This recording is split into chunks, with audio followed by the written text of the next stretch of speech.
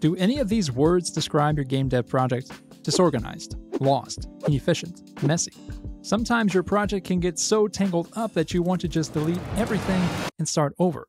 And there is no worse place for lack of organization than your scripts. But by employing this one easy habit when scripting, you can make your life a heck of a lot easier. Let's dive in. At the top of your scripts, you might have a bunch of different things like signals, variables, enumerations. Throwing these different lines of code randomly into your script can make reading and editing things way more difficult. But did you know there's a standard way to organize this code?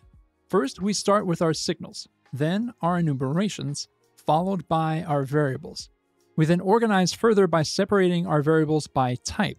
Constant variables come first, then export variables, which we'll talk about in step two, public variables, private variables, and then onReady variables.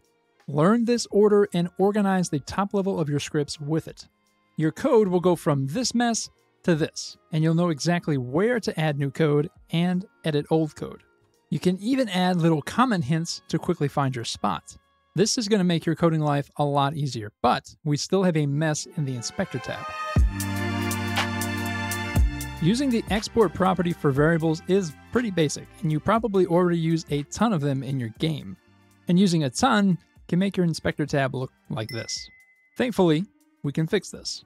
First, you can group your export variables using export group.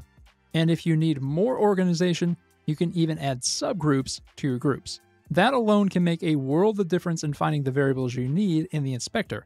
But wait, there's more. You can also change the name of your main category or add additional categories with export category. One more easy trick that can make your variables easier to manage is to add value ranges to your integer or float export variables. This can be done with export range, which sets the minimum, maximum, and step value for your variable.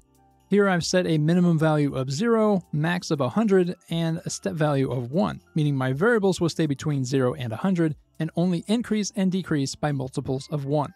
And just with those few lines of code, your inspector tab goes from this to this and becomes a lot easier to manage. Alright guys, if this tutorial was helpful, consider a like and subscribe to the channel as we're going to be covering a lot more.